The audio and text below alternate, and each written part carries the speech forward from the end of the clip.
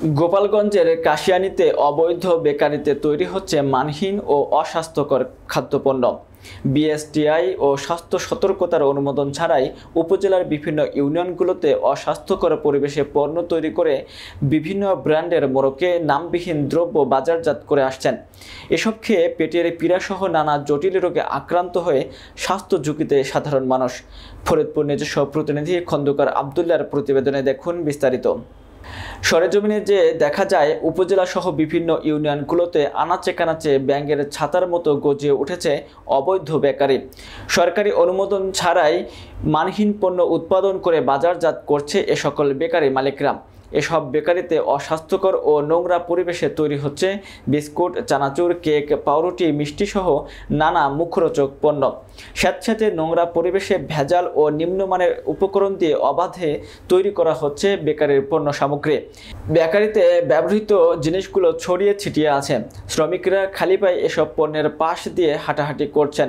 এ সময় তাদের গা থেকে ঘাম ঝরতে দেখা যায়। আটা, ময়দা, প্রক্রিয়াজাত করানো কড়াইগুলো অপরিষ্কার ও নোংরা। ডালডা দিয়ে তৈরি করা ক্রিম রাখা পাত্রগুলোতেও ঝাঁকে ঝাঁকে মাছি ভন ভন করছে। কয়েকদিনের পুরনো তেলেই ভাজা হচ্ছে পণ্য সামগ্রী। ময়লা হাতেই প্যাকেট করা হচ্ছে পণ্য। উৎপাদন ও মেয়াদোত্তীর্ণ তারিখ ছাড়াই বাহারি মোড়কে বনরুটি, পাউরুটি, কেক, বিস্কুট সহ বিভিন্ন ধরনের বেকারি সামগ্রী উৎপাদন ও বাজারজাত করা হচ্ছে।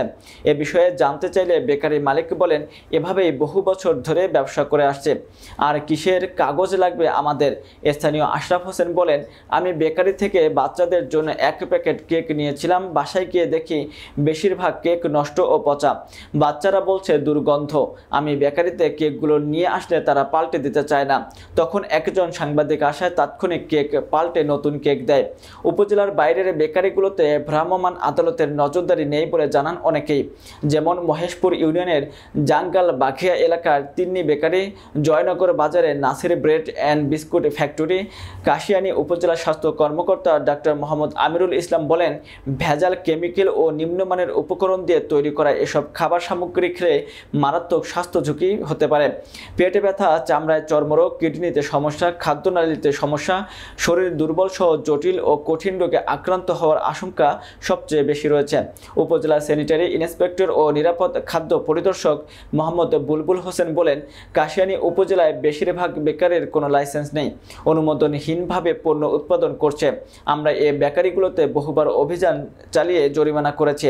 কয়েকটি বেকারি বন্ধ করেছে, কিন্তু তারা গোপনে রাতের অন্ধকারে মাল উৎপাদন করে বাজারজাত করছে। ইউএনও স্যারের সাথে কথা বলেছি অভিযান পরিচালনা করার জন্য। এ বিষয়ে উপজেলা নির্বাহী কর্মকর্তা মোহাম্মদ রাশেদুজ্জামান জানান, উপজেলা সহকারী কমিশনার নিয়মিত অভিযান পরিচালনা করছেন। বিএসটিআই এর অনুমোদন ছাড়া কোনো বেকারি পণ্য উৎপাদন বা বাজারজাত করতে পারবে না। সরকারি লাইসেন্স নিয়ে ব্যবসা করতে হবে। এ বিষয়ে অভিযান অব্যাহত থাকবে।